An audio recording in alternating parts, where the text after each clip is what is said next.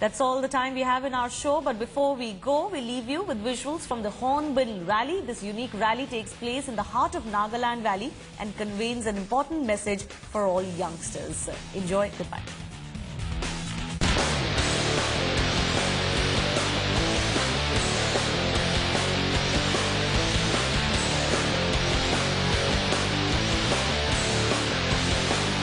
The Hornbill Rally in the serene, peaceful valley of Nagaland.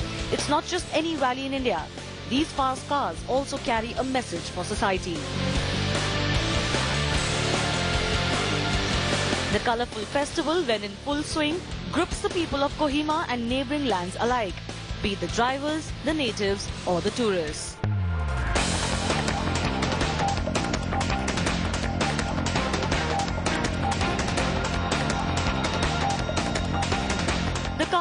Draped themselves in the colours of the land.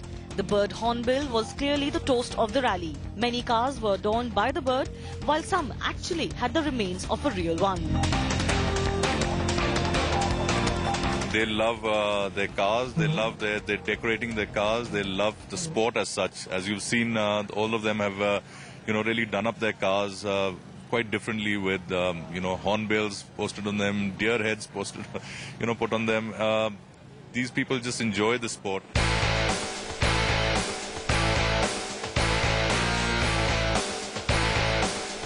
The rally is organized by Nagaland Adventure and Motorsport Association and was first held in 2007. The time speed distance format rally starts from Dimapur and travels 100 kilometers to Kohima, covering the rough terrain of Nagaland along the way.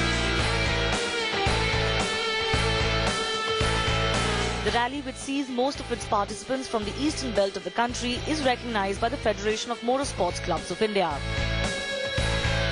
Gagan Sethi and Dheeraj Arora were the proud winners in the professional class category, while Tali Akang and Molinath Ghosh ended the rally on the second position.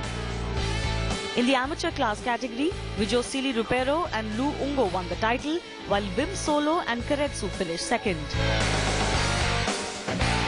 Until next time, happy journey. Sports Bureau headlines today.